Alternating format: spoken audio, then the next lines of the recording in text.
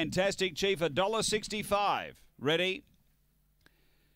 Racing, fantastic Chief, hopped out okay. Speed out wide from Alan Yanni, driving through half a mil. They go to the first bend. Fantastic Chief accelerated through, got the lead to the back. Out by two on Charlie Chops. Behind those came Mr. Worldwide, half a mil. Then zipping Hondo, Alan Yanni from Revel. And back at the tail is all about Corey, but off the back, leader, fantastic Chief by two to Charlie Chops. A length and a half is Mr. Worldwide. They're on the turn. Fantastic Chief had the lead, is clear of Mr. Worldwide, rocketing to second, but fantastic. Chief beats Mr. Worldwide, half a mil third, and Alan Yanni fourth. Behind those, all about Corey from Revel. Uh, then came Charlie Chops and Zipping Hondo. It was back at the end. 30.03 the run.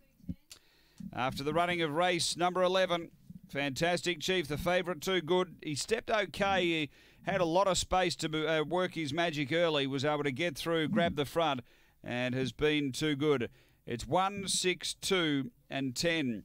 Fantastic Chief, Ben Rawlings, Peter Cameron, Black Dog, December 2015, Goodsy, Fantastic Rose, number one. Second, going to six, Mr. Worldwide, Jamie Quinlivan, a Black Dog, April 2015, Lochinvar Marlo, Hawko, and two, half a mil, Lisa Rasmussen, a Black Dog, August 2015, Fernando Bale, Renoa Bale. Numbers are 1, 6, 2, 10 after race 11 at Angle Park.